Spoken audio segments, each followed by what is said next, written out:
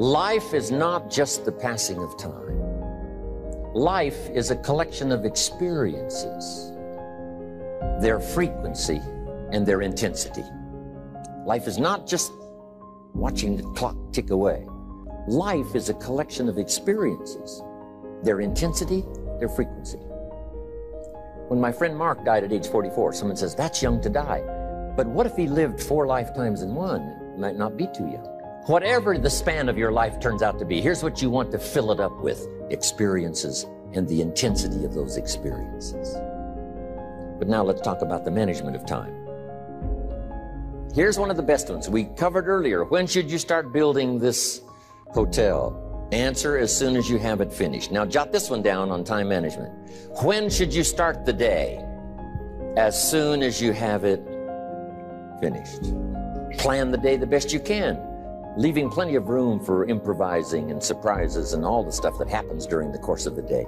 But if you've planned a good, productive day, now you start that day, you can't believe how much more valuable your time will be. Don't start the day until you have it finished.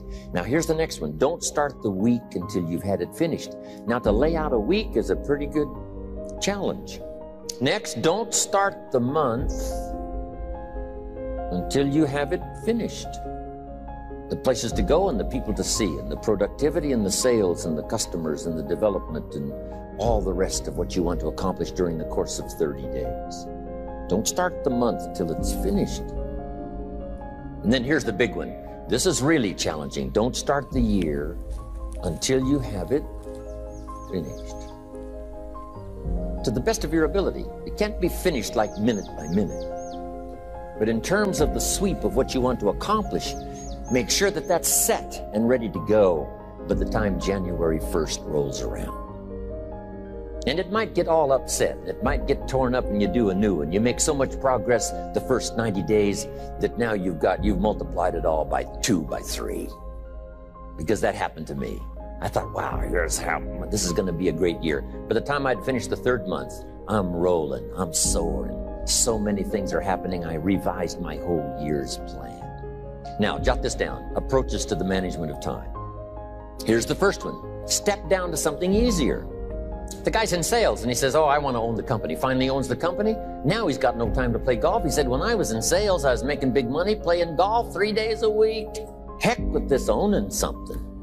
Heck with managing. My life was never my own after I started to manage. I'm going back to sales. See, this is the key. If you're getting too pressed, you might consider stepping down to something with a little easier time pressure. Little girl says to her mother, Daddy comes home, brings his briefcase and pats me on the head and says hello, disappears and works on his papers. How come my daddy doesn't play with me? And her mother said, Look, your daddy loves you very much, but he has he's so busy at work, he can't get it all done, he has to bring it home. He loves you, but that's why he can't play with you. And the little girl said, Why don't they just put him in a slower group? Jot this down now. If you don't have time for your kids, you might consider joining a slower group. Next key to time management. And that's work longer and harder. But see, there's a limit to that. I almost lost my health the first year. I went so crazy about personal development and achievement. I just went bonkers. You know, I told you I was skinny. By the end of that first year, I was a walking shadow. And then it suddenly occurred to me, what if I got rich and too ill to spend it? I mean, that was a shocker. So I started, you know, developing a little more reasonable because I said if 12 hours won't do it, I'll work 14. If that won't do it, I'll work 18. I mean, how many hours it takes. And sure enough, it, it cost me too much. So see, working longer and harder for some might be appropriate. You know, if you're just sitting around not doing that much, this might be good, work longer and harder. But you can only work so hard. Here's the key, not to work harder, but smarter. When you've worked as hard as you can, doing the best you can in terms of physical output in the time, reasonable time. Now, here's the ultimate in the management of time, and that is you simply become more skillful. When I first got into sales, you know, I was around people that could get, you know, 9 out of 10, 8 out of 10. And when I first started, I could only get 1 out of 10. But here's what I did I worked around the clock, around the clock, so that I would make up in numbers what I lacked in skill. That's good in sales. You got to jot that down. When you're new, you make up in numbers what you lack in skill. Now, when you become more skillful, the numbers can go down because now your, your persuasive ability and all of that is now so high that you don't need to put as many numbers out. But at first, if you want to compete or if you want to really get good, you've got to put in the numbers. But if you get more from yourself, develop more of yourself, now the time management becomes an easier task. Now, here's the next thing either you run the project or it runs you. I've found out when you start something, at first you're in charge. All of a sudden, a year later, it's in charge. Some of the companies I started, I'm telling you, I'm in control. A couple of years later, I'm out of control. At first, I've got it on the run. Two years later, it's got me on the run. Haven't got enough time. I'm dizzy with trying to get it all done. So here's part of the key, and that's to get in charge. Say, I'm going to take charge of my health. One of my albums is entitled Take Charge of Your Life. Take charge of your time. Take charge of your resources, which we're going to talk about next. Take charge of your health.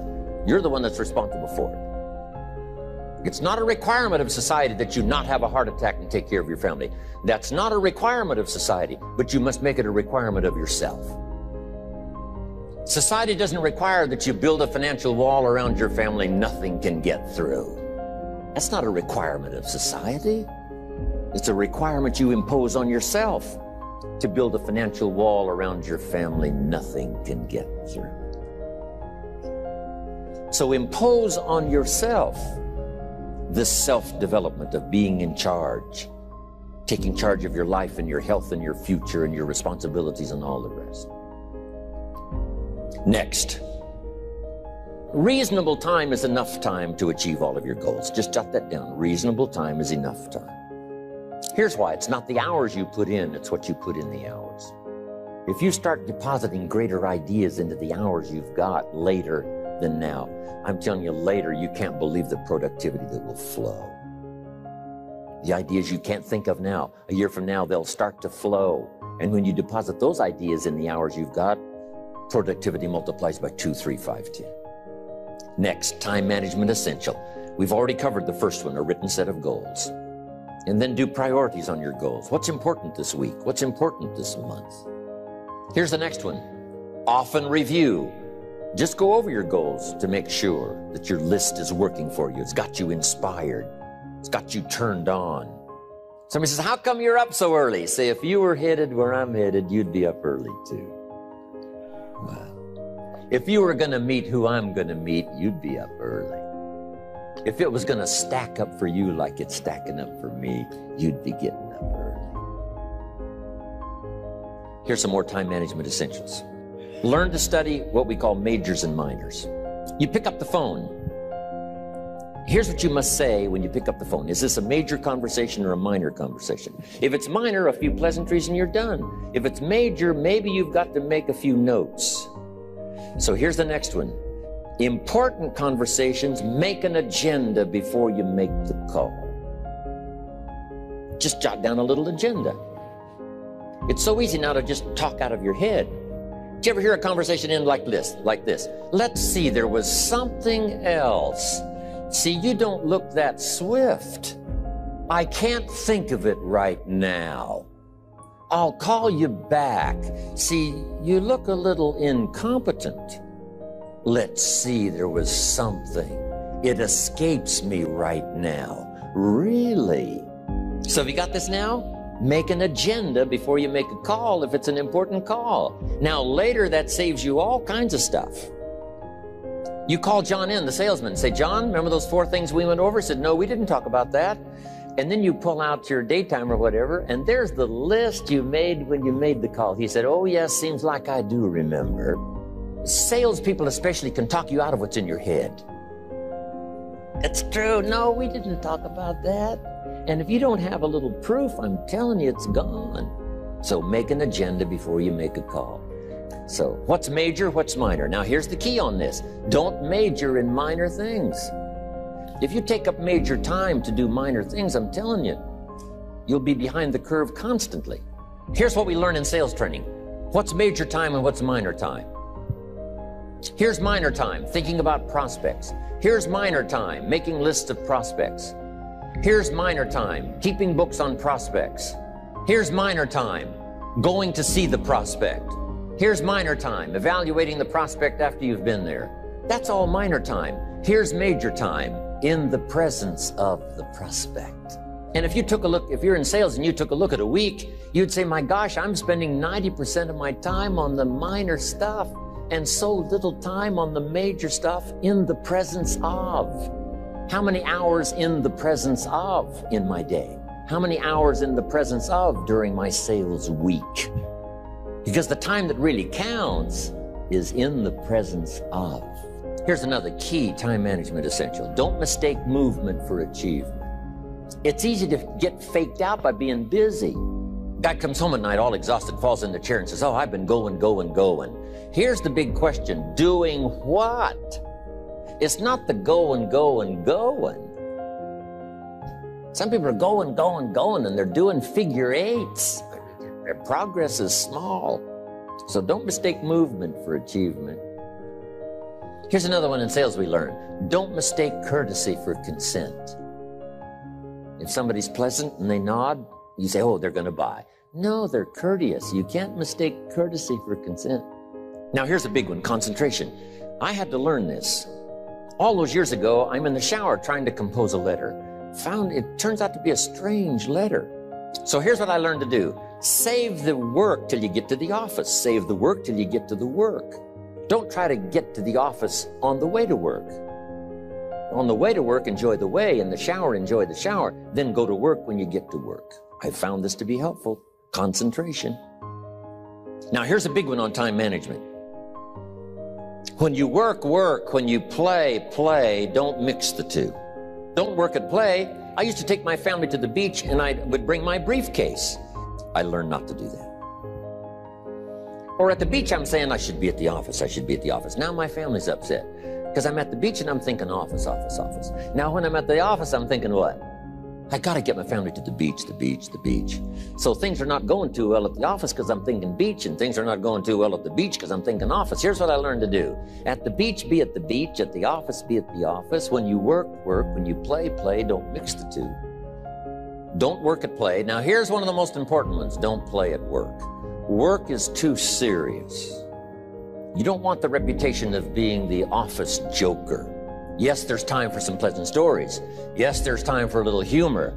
Yes, uh, best if it's a happy office, of course.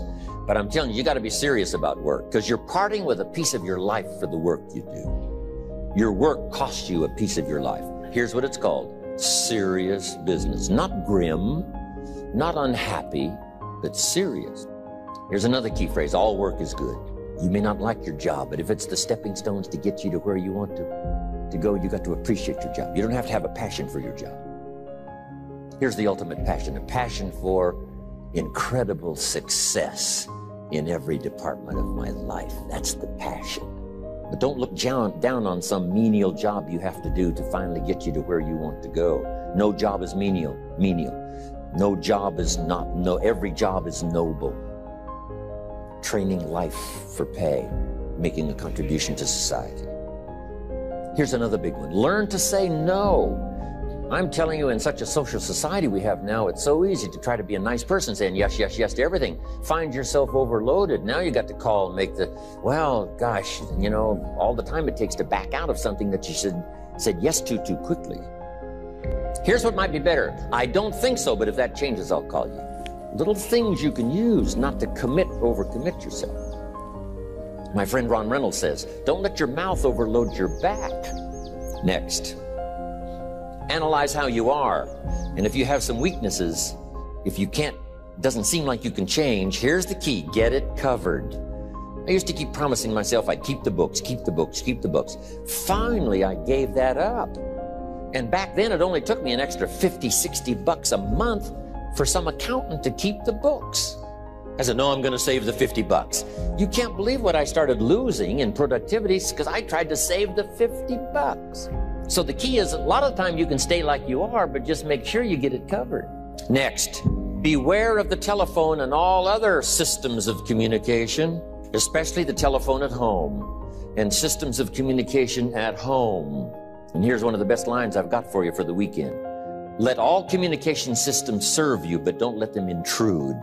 When it comes time to have dinner with your family, you shut off all systems, unless the ones that can take messages silently. Don't let anybody intrude, come through the front door nor the back door, nor through the telephone or any other device. So you can't reach John and his family when he's having dinner. The President of the United States couldn't get through. If you develop that kind of a reputation, father, mother, when we have dinner, when we're visiting and have this time with our family, nothing intrudes. So don't let these clever little devices keep intruding. You've got to have a place that's sacrosanct, it's, it's valuable. You don't let anything in for that period of time. Now, here's what's next. Just be more alert to the things that might be stealing your time. Here's why time is like capital. You can't let someone steal your seed corn. You can't let someone steal your capital. And you can't let someone steal your time. You must designate your time. And some of the time that you designate, you must not let anyone steal. Casual time, you might let someone intrude and steal a little bit and take a little bit, but not serious time. Next, one of the great time management savers is to learn to ask questions up front. Sometimes you talk to somebody for an hour, and then you ask questions and find out if you would have asked those questions up front, you could have saved yourself an hour. Asking questions up front helps you to get to the problem now. But if you just launch into some discourse, you might waste 30 minutes, waste an hour, when here's what you should have been talking. After you finished an hour, you say, John, what's really the problem? He said, well, it's something personal. See, that's what you should have been talking about this whole hour. Next, learn to think on paper solving problems. Take it out of your head and put it on paper. Another one is setting goals. Here's another good way to think on paper. It's a projects book. Each person you're working with and each project you're working on, get a loose leaf binder and a tab and some pieces of paper behind the tab and do a little continual summary of how it's going between you and that person and between you and that project. I call it a projects book. It is so useful to me. But what's going on between you and this person? When you last got together, what did you talk about? And you got a few notes there. Here's what we talked about the last time we got together. Now, when you get together again, you can review that so you'll know better what to talk about. When the president gets ready to travel and he's going to meet some important people, guess what they bring him? All these briefing books. Right? The last time you were with Khrushchev, Kennedy is informed. Here's what he said, and here's what you said. Kennedy said, Oh, that's valuable. I need to remember that. If a person is important, it's worth a little running account. You might even have a projects book for your children. Here's what's happening between me and my child. We've talked about this, and we've talked about this, and we've talked about this. Next, a day timer. Keeping track of all of your appointments. You know, mine is all filled with, you know, when to catch an airplane and when to do a seminar and when to sit down and have a conference, all the rest. Next is a game plan. You know, if you've got a house and the, you know, insurance is going to come due and some other things are going to come due, you just put it on a spreadsheet and make sure it's taken care of. Key phrase, take things out of your head and put them on paper. Now here's the last one, thinking on paper, and that's to keep a journal. One of the things I'm known for around the world, have been now for 39, 40 years, is keeping a journal. Now my journal is not a, you know, it's not necessarily a it's not like a diary. It might be part diary. You know, I'm flying over Ireland and I, write down a few little things that impress me. Uh, today I met this person. Wow, what an extraordinary event. Today this, I conducted this seminar in Rome. A thousand people stood up and sang for me. I've got a little bit of a diary in there. But here's what primarily your journal is for collecting good ideas. A journal is to collect good ideas on your health, good ideas for your business, good ideas for your future, good ideas for time management. Because I used to take notes on pieces of paper and torn off corners and backs of old envelopes and restaurant placemats. And I threw all this stuff in a drawer. It did not serve me well. I finally learned to get a bound copy, right? And just keep a journal. Right? If I was here, I had my journal, I'd be taking notes, right? These two days in my journal. Now, if you're caught without your journal, you just take the notes when you get back home. You put those notes in your journal, throw the paper away. Because we don't usually go through paper to review. But see, my journals now make up a significant part of my own library. My journals all reserved privately for my children and my grandchildren. Can you imagine what I've collected over the years? It's unbelievable.